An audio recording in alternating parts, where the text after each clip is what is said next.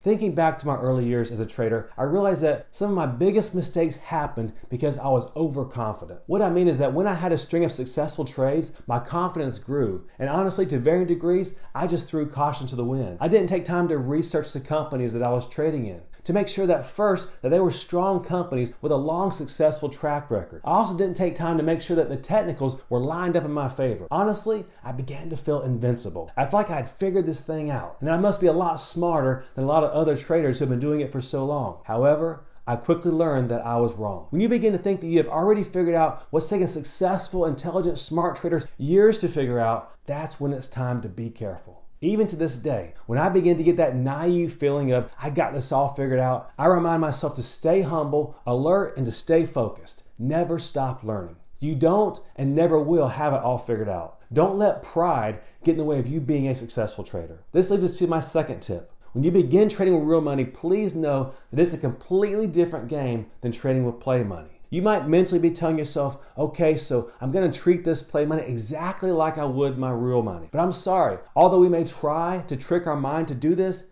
it's just not the same. There are so many more emotions tied to real life stock and option trading that a game or play money, it just doesn't simulate. The game or trading with play money does help you to prepare, but it does not help you to prepare with the emotions that you're most likely going to encounter, especially when you begin to trade with your own real money. Because of that, I encourage you, when you begin trading with real money, trade a lot smaller than you think you should. I promise your emotions of fear and greed, they're going to be your enemy. It takes time to learn to control those emotions. For some traders, it can take years. In fact, some traders, they never get them under control, and as a result, they are no longer traders. Traders who can't control their emotions put themselves right out of the business, or as I like to call it, because I love it so much, they put themselves right out of this game. Technology can be an awesome thing. I remember the first time that I ran several back tests in my trading accounts. At that time, I had one of my accounts with a broker that gave me the ability to write trading programs that could automate my trading. I spent hundreds and hundreds of hours writing over 300 automated trading algorithms. I backtested them until I believed that I had all the kinks worked out.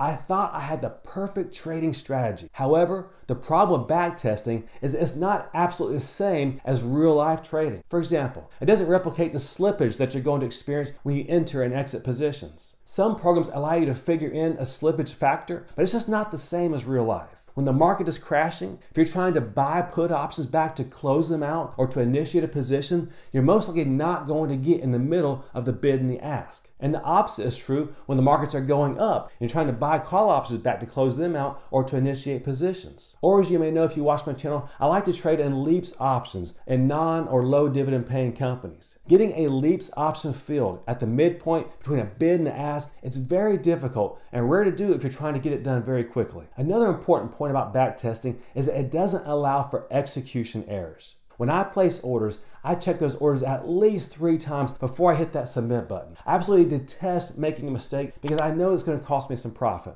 And I don't like to make errors. In fact, over the past several months, I've only made one error out of hundreds of trades that we've done. But that one error, it cost me several hundred dollars. Errors, they will happen. If you're careful, you'll keep them to absolute minimum but they do happen even for the most meticulous traders. I saved what I think is the most important for the last when it comes to this subject of backtesting.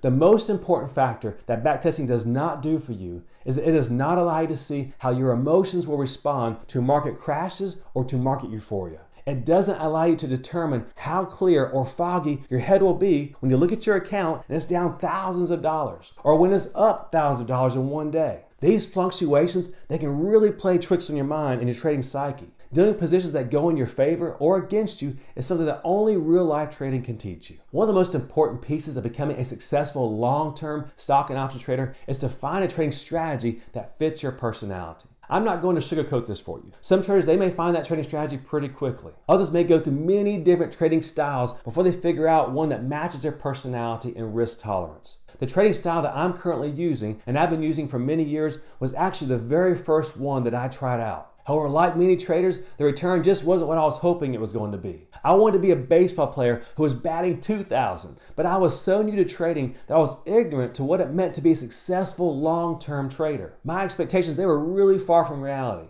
Even now, I always want to be improving as a trader. And I'm sure you're the same way because that's why you're watching this video. But once you find a trading style that matches your personality, risk tolerance, and helps you achieve returns that you're hoping for, be consistent with it. Now, I'm not saying that you should never tweak or change that trading style, but once you know that a system works, stick with it. Hone your skill and become better at it. Plan your trades and then trade your plan. Don't let other traders cause you to do trades that normally you wouldn't dream of doing.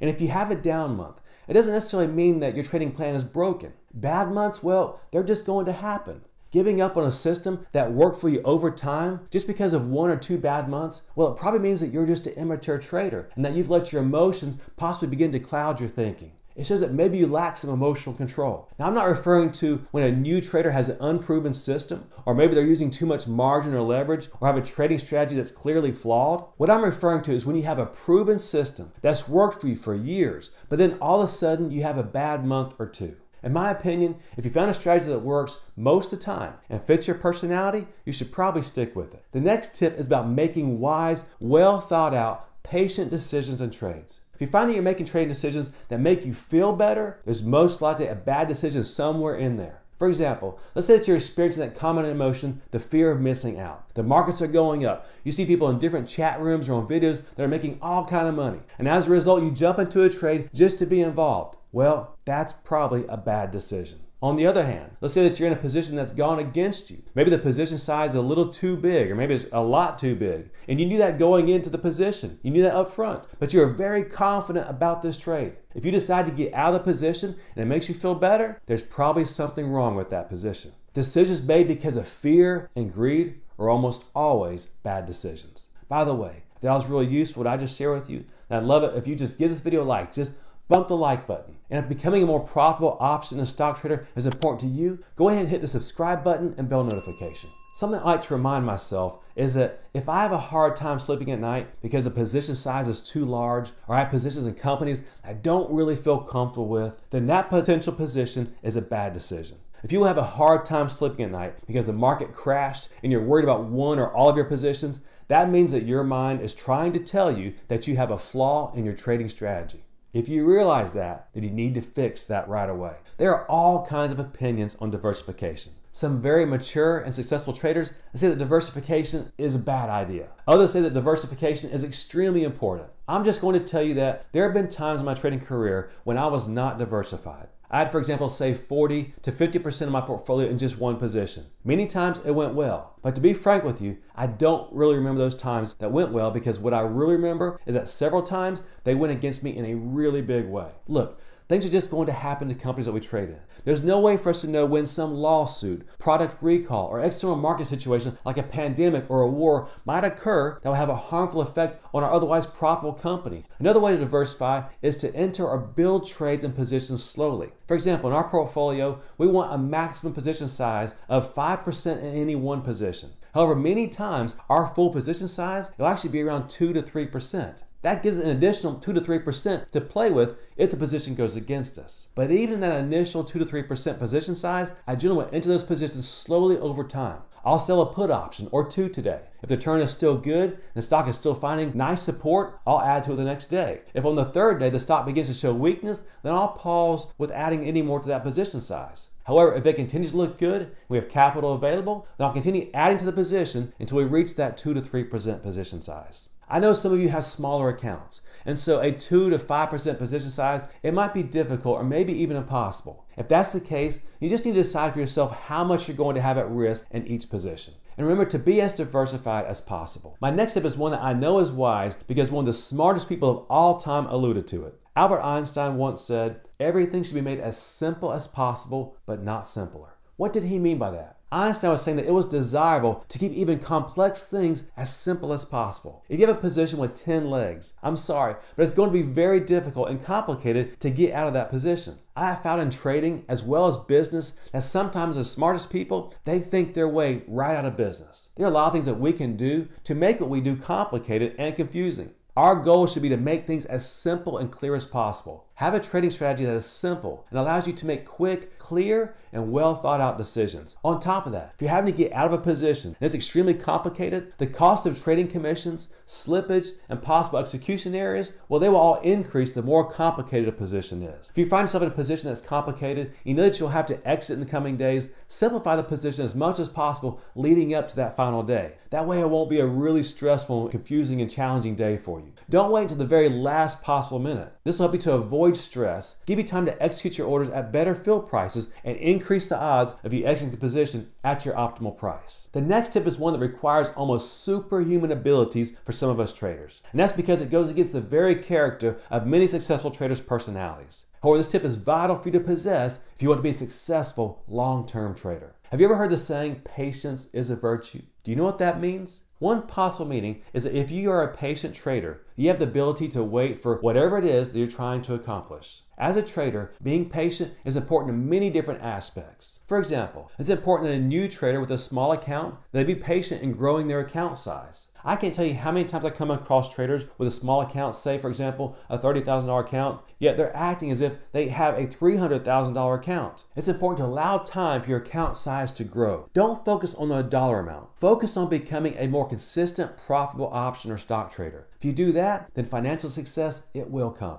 On the contrary, if you focus on only trying to do trades that will dramatically increase your account balance, typically those trades are going to go against you, and the complete opposite of what you're trying to accomplish is what's going to happen. Don't force trades. Don't use a ton of margin or leverage. Another form of patience is important when entering trades. For example, we really try to make sure that we're entering trades when we have good odds of winning on that position. It takes a lot of time for me every day to review all my potential trades, run returns, and double check that to make sure that it still is advantageous for us to enter the position before finally getting around to actually placing the order. Every day I review a lot of potential stocks. I'm looking for the ones that are entering our sweet spot. Once I narrow that down to anywhere from 5 to 10 potential trades, I then run those returns. Then I look at the potential stocks charts on up to four different time frames. If all that looks good, then I enter the order. There are absolutely times when I will miss a trade by 30 minutes because of this process. However, I'm okay with that. If a position moves away from you so that you won't get a good enough price, be patient. Set your limit order and let the order just sit out there just to see what happens. If it doesn't get filled, then just look for other opportunities. If neither one of those are possible, then I promise there will be another potential trade later.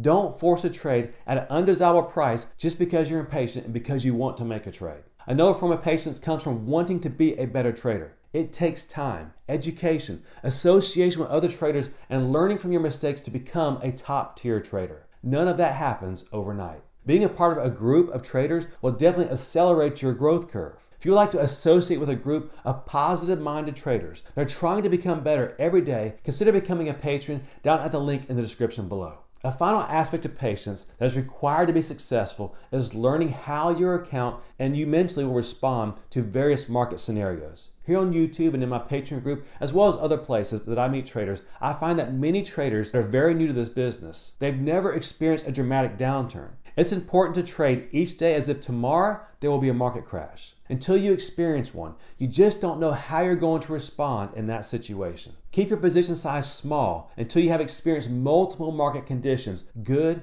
and bad. The next tip applies to all stock and option traders, but if you're using any kind of margin or leverage, it applies to you times 100. It's short and powerful. I got this out of a book that I read many years ago. The market can stay irrational longer than you can stay solvent. You must plan for the worst case scenario on every trade. Do not enter trades and positions that can put you out of business if they go against you. You could be 100% right in your position, but if the market disagrees with you and you're using too much leverage or margin, it can put you right out of business. If it doesn't happen this time, eventually it will if you're using too much margin or leverage. To me, probably the hardest and yet the most important thing to learn in trading is not how to read a chart. It's not how to pick a company with the best fundamentals. In my opinion, the hardest and yet most important thing to learn as a stock and option trader is how to control your emotions of fear and greed. It's vital that you learn to sense when those emotions are starting to sneak up on you and influencing your decisions. As soon as you sense that either one of those emotions are affecting you, even to the smallest degree, take a break, walk away, and give your head time to reset. Mistakes come from making decisions that are based on fear and greed. If you'd like to receive alerts when we do trades, consider the benefits of becoming a Patreon down at the link in the description below.